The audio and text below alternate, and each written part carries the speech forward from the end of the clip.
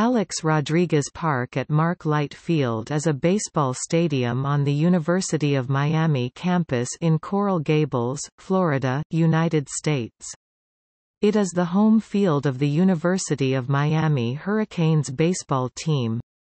The stadium holds a capacity of 5,000 spectators. The first game was held on February 16, 1973. Miami fan George Light donated money for the field's construction. Mark Light Field is named for George Light's son, Mark Light, who died of muscular dystrophy.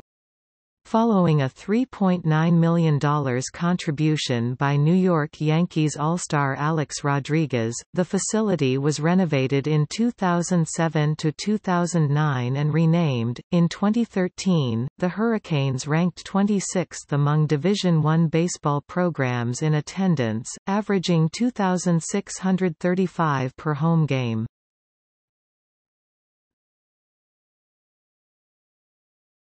Topic. See also. List of NCAA Division I baseball venues